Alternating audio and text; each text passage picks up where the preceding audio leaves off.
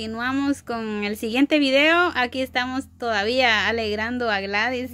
Yo creo que cuando nos vayamos nos va a extrañar con un ratito que hayamos venido. sus cosas. No, a enamorarnos de sus cosas. ¿Y qué es lo que tienen ahí? Pues aquí están las hojas de la rifa que ella nos estaba Esas contando. son unas listas. Son listas de, De números. de números. Aquí nos va a contar Gladys qué es lo que, que va a hacer con esas hojas, dijo. Son ¿Qué se va a comprar una rifa. Lo que voy a rifar mañana es un mantel bordado y un premio sorpresa.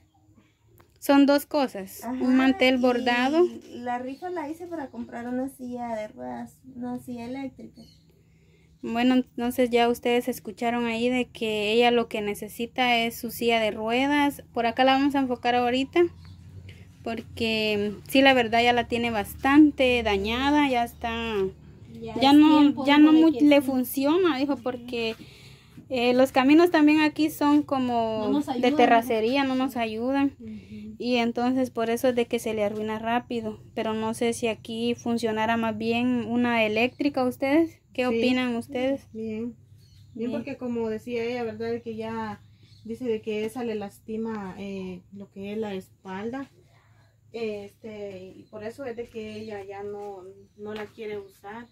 Ella ahorita lo que está haciendo es que son rifas para poder recaudar fondos para poder comprar su silla eléctrica, porque eso es lo que ella más quisiera.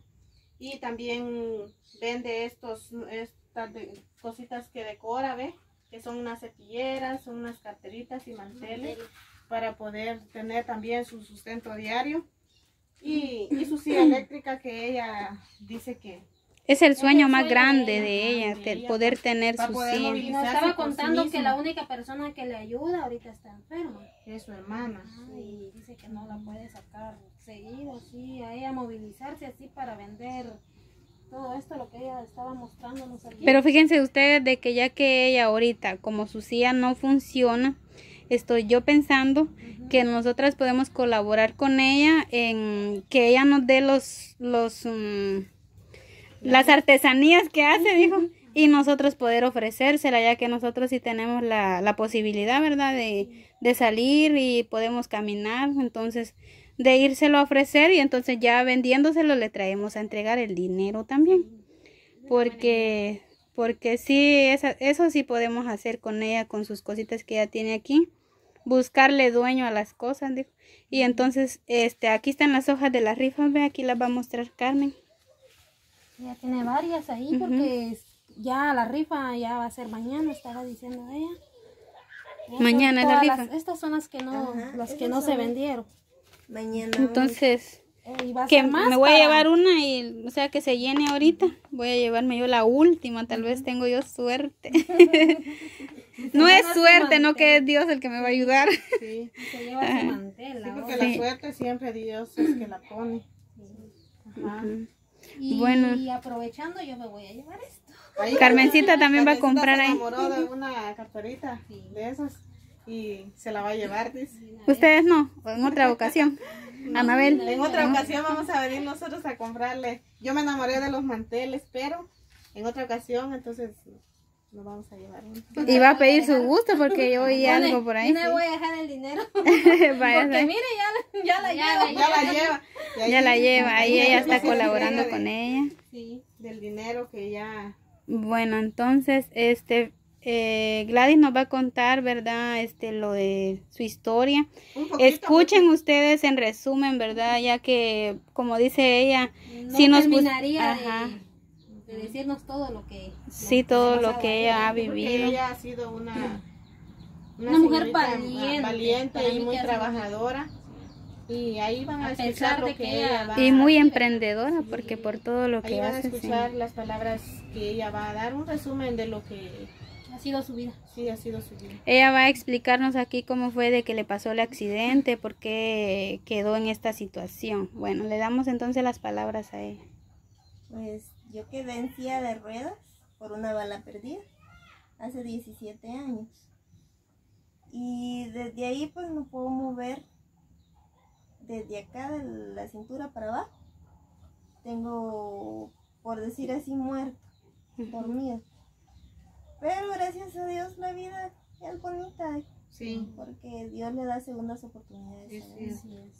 Y yo sé que hace 17 años pues dejé de caminar, pero la vida sigue y uno tiene que seguir adelante. Es de admirar, es de admirar. Porque muchas personas se dan por vencidas, como dice Ali, va, baja las manos y ya no. Para ahí, para ellos todo terminó y ya no tratan de salir adelante. Y como digo yo, ella es una mujer muy valiente que Dios le ha dado las Sí. fuerzas para Y que ella esa siga. creatividad que Sí, ella no, lo- sí, no se puede movilizar, pero con sus manos ella trabaja. Sí, a pesar de que ella está así, demuestra el valor Sí. y... de cada una de las Ajá, personas. es- sí.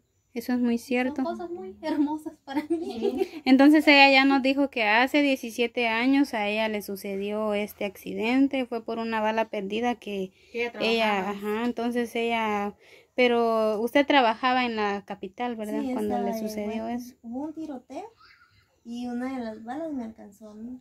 ¿Dónde trabajaba? Ajá, no, ya iba para mi casa. Ay, Ajá, bajando del bus. Y ahí fue donde hubo el tiroteo. Yo quedé muerta de acá, del cuello para abajo.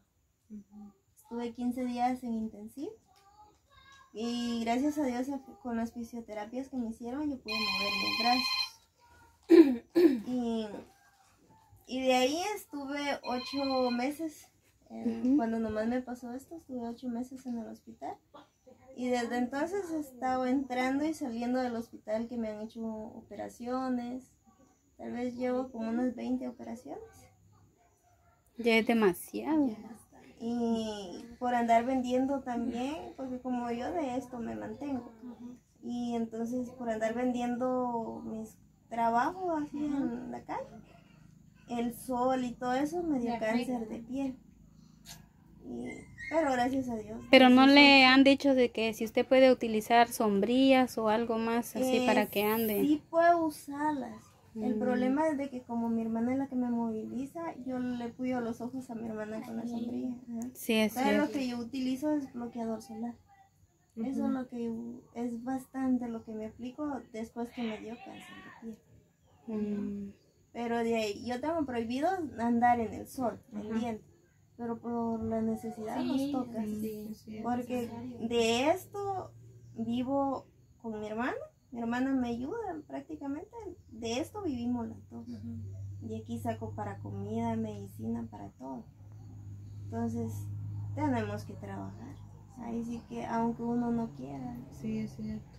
Como nos estaba contando, ¿verdad? Que la hermana está enferma también ahorita y ella le está ayudando con esto que ella está vendiendo también. ujú. Sí. Gracias a Dios también que tiene ahí un, a un ángel, se podría decir, va, que, que le ayuda bastante, que es su hermanita, que le ayuda con todo esto, porque la verdad es de que no queda de otra que apoyar, ¿verdad? Cuando es una situación así, porque como dice Carmen, ella no se da por vencida, es una mujer muy valiente, incluso a veces a uno le dan ganas de decir, ay, no. Sí, pero ahí sí que uno está mal, ¿verdad? No, no tiene bueno el pensamiento, dijo, pero porque ella la verdad sí está bien activa ahí en, en sus quehaceres y uno a veces se siente triste y no tendría que ser así, ¿verdad? El problema es de que cuando uno se deprime, ahí se termina todo. Sí, eso O sí. sea, ahí sí que lo único que queda es pedirle a Dios. Tal vez no pedirle un que me levante, porque eso sería ser egoísta. Más bien decirle, Señor, dame fuerza para seguir a seguir adelante. luchando. Ajá. Sí, sí. Porque el único que sabe si algún día caminaré o no es Él. Y Sí. Uno es ser humano y uno se equivoca a veces. Sí, así lo es, único tiene que uno mucha puede razón. pedir es eso. Así es. Y seguir adelante. Pues ahora tiene amigas aquí. Ya encontró otras amigas. Ya le ofrecimos Y- el viaje, ¿verdad? Sí, la verdad que sí. Aquí estamos No. por cualquier cosa. Le vamos a dejar ahí nuestros números de Siempre vamos a teléfono. estar viniendo a visitarla. Muchas gracias. Aunque tal vez no, no todas las veces que vengamos grabemos, va, porque también Sí. no se valdría, dijo, porque si queremos tener una amistad tenemos que también venirla a ver detrás de cámaras también. Ahí vamos a apoyarla siempre. Algún suscriptor, ¿verdad? Que tenga ese buen deseo de su corazón de apoyar y su ayuda o lo que sea, ¿verdad? Será bienvenida. Que Dios se los pague Sí. con todo Sí, nuestro nosotros corazón. No podemos, pero Dios se los va a Dios multiplicar. es el único que puede multiplicarles a ellos, a sus familias, a sus trabajos, ¿verdad? Porque estamos viendo que sí hay necesidad. Y como nos estaba diciendo ella, ¿verdad? Que el sueño de ella es su silla, su silla de Su ruedas. silla de ruedas. Estamos viendo la situación de ella, ¿verdad? Que ya, ya no sirve su sillita. Bueno, entonces yo me voy a comprar ahí una, una- un listado ¿va? de números. Sigo yo que me voy a comprar. Cuando Me voy a pido, comprar, pásemelo ahí de una vez. Me voy a comprar. Ahorita voy a salir a saludar. Hola, aquí estoy. Hola, One. Solo tenía una gran habladera, pero por lado atrás voy a... Ahorita Pero, de una ¿por qué vez. no corta ese? Porque ya se completaron los minutos. Y continuamos en otro.